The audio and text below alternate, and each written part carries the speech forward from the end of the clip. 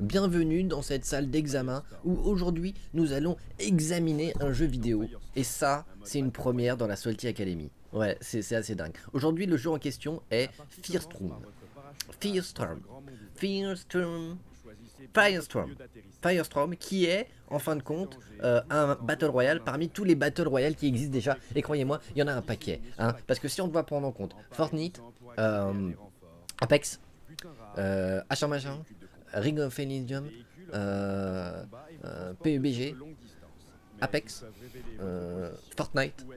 Ça, ça fait beaucoup quand même là. On commence à en avoir à le bol. Hein. On est immergé. Il y en a trop. Les... En fait, il n'y en a pas beaucoup.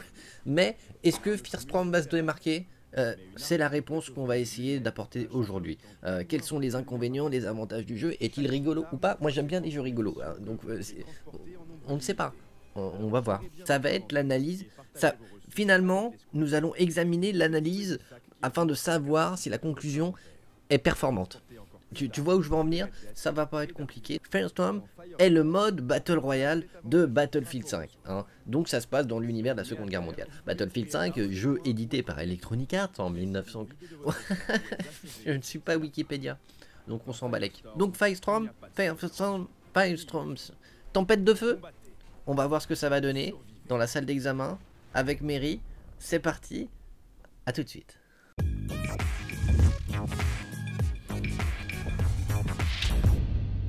Alright, I'm gonna show you guys. I'm, I'm in Pro League. Me, I'm uh, Mary. Oh, Mary, really? Donc l'aventure de Firestorm commence dans un hangar. Euh, ouais, il y a René et Jacqueline qui s'emmerdaient. Et du coup, ils se sont dit venez, euh, on fait une organisation, euh, on prend tout un régiment, 64 personnes, on pique les avions du général, hein, on, décolle, on décolle, bah, parce qu'un avion ça va pas faire autre chose.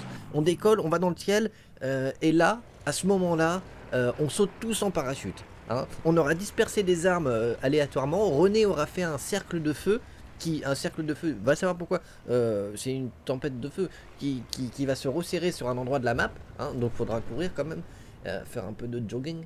Euh, et à un moment donné, on ramasse les armes donc, et puis dès qu'on croise quelqu'un, on le tue. Ouais, non, c'est un concept. C'est comme ça, j'ai décidé, je décide, tu suis, hein, sinon tu dégages. Donc c'est un peu le background que je vous ai récité là. Et il en restera plus qu'un, et le vainqueur aura une charlotte aux fraises. euh, J'ai envie d'une pizza. Pizza Voilà. C'est la technologie. Hmm. Il est important pour moi de vous parler. Elle est, elle est dégueulasse cette pizza. Elle sort d'où? Elle a au moins 3 ans. Mais parlons un peu de technique, Mary. Le jeu, est-ce que je pourrais le faire tourner? Hein? C'est la question que tu te poses, je le sais. Eh ben, figure-toi qu'il est super bien optimisé. Déjà, Battlefield 5, quand j'avais la 1080, le jeu tournait... Euh, coton, hein. c'était euh, c'était smooth, c'était parfait. Là, avec une RTX, alors c'est vrai que j'ai la chance d'avoir une RTX 2080 Ti, donc forcément, euh, je peux me permettre de mettre le jeu en full ultra, euh, résolution WQ HD, perlin pimpin, en veux-tu, en voilà. le jeu ne bronche pas, quoi. C'est vraiment très très propre. Et d'ailleurs, je l'ai mis en full ultra, mais je pourrais m'amuser un petit peu quand même à baisser certains paramètres qui, euh, qui me permettrait d'avoir les 144 FPS constants avec une résolution de ouf et une beauté euh, incroyable. Le jeu est vraiment magnifique et je ne pense pas que vous aurez des problèmes avec vos cartes graphiques. Qui plus est, si vous avez une RTX, vous mettez la G5 et là, là euh, c'est la folie. Là, c'est top 1, euh, top 1, tu, tu, gagnes la Charlotte aux fraises à tous les coups. non, c'est vrai, c'est vrai ce que je dis, c'est un argument de vente. Ce, ce, ce n'est pas sponsorisé, de, ni par personne. Donc niveau technique, ça tient la route, c'est propre, bien optimisé et c'est très très beau. Euh, Peut-être même trop beau. Je vous expliquerai après. Donc me voilà projeté euh, dans, ce, dans cette magnifique campagne euh, à la recherche du top 1 et de la Charlotte aux fraises. J'ai été surpris de constater que j'ai fait beaucoup de kilomètres hein, et j'ai pas croisé grand monde. C'est-à-dire que j'ai beaucoup marché, euh, j'étais très attentif, je faisais attention à peu près à tout ce qui pouvait se passer autour de moi, euh, et, j'ai rencontré personne. Alors j'étais en confiance, euh, peut-être trop. Ouais. Donc là, je me suis dit, il y a un problème. Donc je suis retourné dans le hangar, dans lequel j'ai pris les armes pour m'entraîner à tirer, pendant que d'autres s'entraînaient à, faire des coups de couteau dans le vent. Et là, je me suis dit, je vais pas me faire avoir. J'ai compris le concept du jeu. Hein. Je suis dans l'avion, je saute en parachute, hein, parce que je suis pas très, euh, malin, j'atterris et euh, je défonce tout.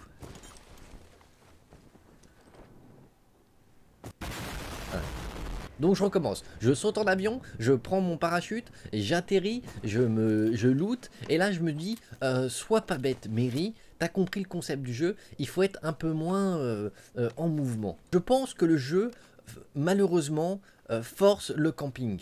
Hein, je pense pas que ce soit les joueurs qui soient cancer euh, et vous dire oh putain il y a que des campeurs dans ce jeu. Non, je pense malheureusement que c'est le jeu qui incite euh, à être euh, le moins en mouvement possible. Je vous assure que d'habitude dans les, dans les Battle Royale, plus tu es en mouvement, mieux c'est.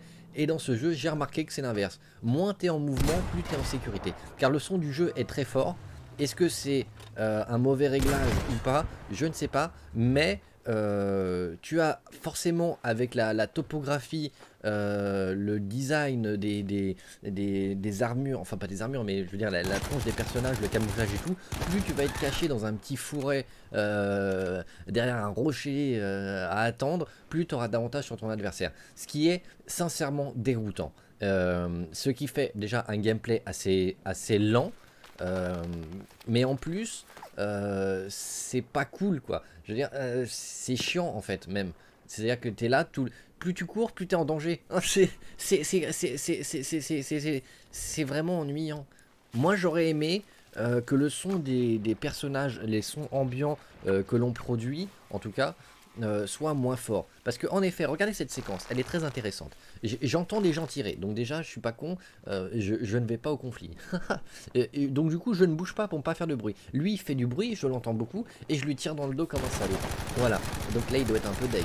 Donc malheureusement je l'ai pas eu du premier coup, mais euh, fort de mon expérience et de mon aim international, je le brain. Je pète la vide, je sais qu'il va arriver à la, à la porte, et là bim Je lui ai mis une grosse tête. Hein, il doit être dégoûté. Je ramasse son arme, et regardez, une arme violette, parce que en effet dans le jeu, euh, il y a pas d'armes euh, plus avantageuses que d'autres, mais c'est classé par rareté. Donc vous avez le vert qui est les armes communes, on va dire, euh, le bleu qui est un peu plus up, généralement ça fait un peu plus de dégâts, un peu moins de recul, et enfin l'arme violette qui est le top bonbon, euh, ça fait du dégât, et en plus, surtout, surtout, ça a une lunette. Donc si vous avez une car 98 violette, vous pouvez être sûr que vous avez un avantage de ouf. Voilà, Bah, lui il avait une car 98 violette, et il me l'a mis dans la tronche. En résumé, si tu bouges pas beaucoup et que tu as la chance de looter une très bonne arme, tu as un avantage. Et je ne perds pas courage, je prends l'avion, je saute en parachute, je décide de, me bien m'équiper, je suis sûr de mes convictions, je suis persuadé que là je vais faire enfin mon top 1, je trouve un adversaire, je commence à l'éliminer. Je me dis putain il prend pas trop, mais c'était pas grave, je garde courage. Je le décale et là il m'allume. Mais je ne perds pas courage. Je prends mon avion, je saute en parachute, et là je décide avant tout de mieux m'équiper. Et donc un fusil à pompe, je vois un adversaire, je lui tire dessus. Mais je ne me laisse pas faire, il a peur de moi, il sait que je vais avoir l'avantage, et je le dégomme, il me dégomme, je continue. Je prends l'avion, je saute en parachute, je m'équipe, et là cette fois, je suis pas con, j'ai compris comment fonctionne le jeu. En effet, on a des petites plaques de blindage et ces petites plaques de blindage, eh ben elles changent la vie. En effet, vous verrez en bas de l'écran, j'avais deux cases, deux cases bleues qui est votre bouclier tout simplement. Donc vous pouvez à tout moment retrouver en loot des petites plaques euh, de blindage et ça, ça change tout. Parce que le jeu, je vais pas vous mentir, euh, je n'ai aucun problème, je trouve que les dégâts sont très bien faits. C'est même très rapide, vous mourrez très vite et vous pouvez tuer aussi assez vite. Et ça, c'est ce qui m'a extrêmement plu dans le jeu. J'ai pas eu le sentiment de devoir vider un chargeur pour buter un mec. Si vous tapez la tête, croyez-moi, vous allez, euh, vous allez vraiment allumer vos adversaires, blindage ou pas. Et ce petit blindage, ça vous permet euh, vraiment, si le mec tire dans votre corps, euh, d'avoir une, bonne résistance. Euh, lui, il était équipé d'un blindage, d'un bon blindage.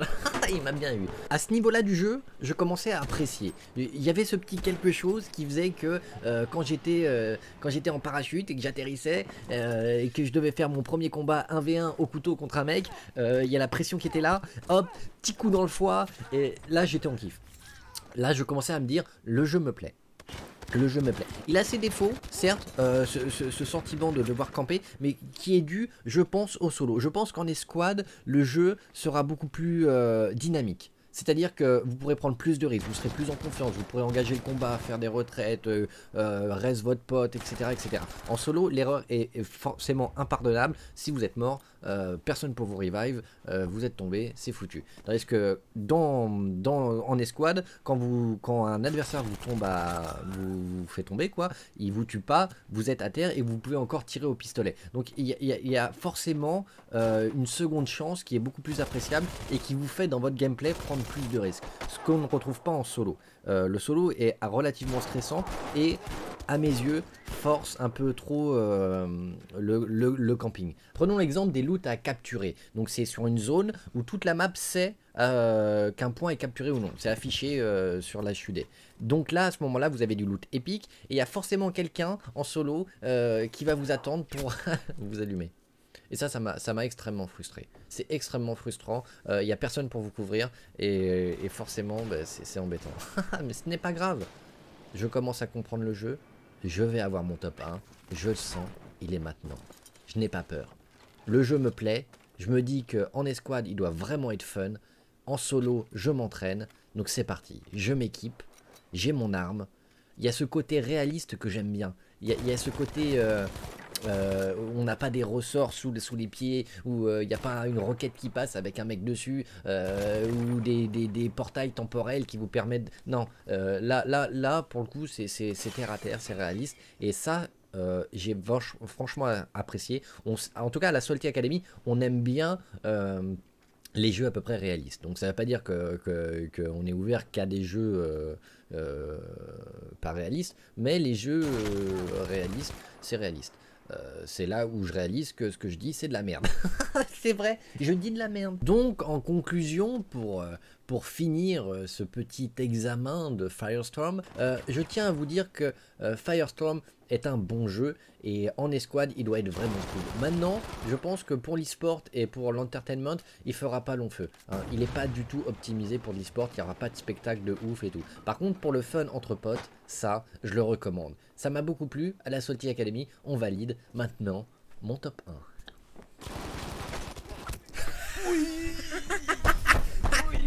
Eh,